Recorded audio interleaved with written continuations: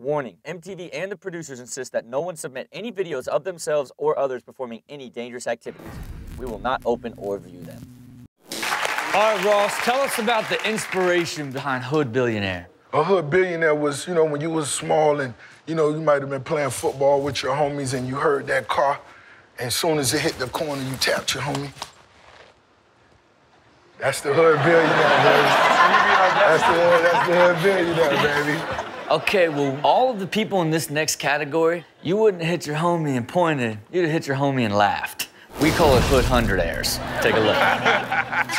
ba, ba, ba, ba, we're in the streets. He doing it We though. rolling. He ain't hood billionaire. No, he's most definitely hood hunter-aire. Yeah. You got a fish tank in there? Fish tank in the bag. Are you for real? You what? Oh my oh, fish tank.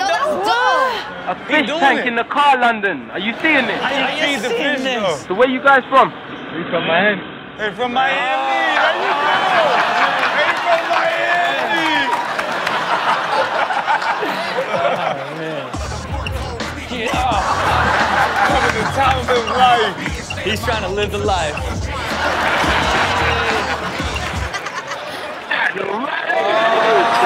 Just upgraded to Windows 8. That check just came through. Why he got a TV on the back like he can see it?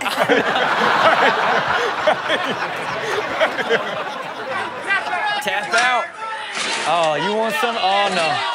Oh, no. Oh! They're so dumb. I can't believe that didn't just start an entire riot. Baby, let me show you how I ride. When I ride, I ride. He ride though. Wow. But it's a gold go kart. Wow. It's a gold It's gold though. That's how you do it. When you're a hood hundred air, you got a gold card.